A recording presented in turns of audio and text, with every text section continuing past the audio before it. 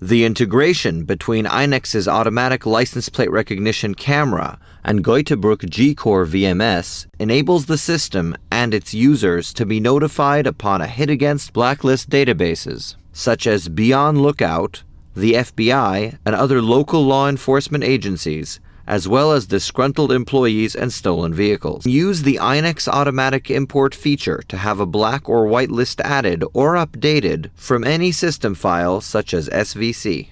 The AL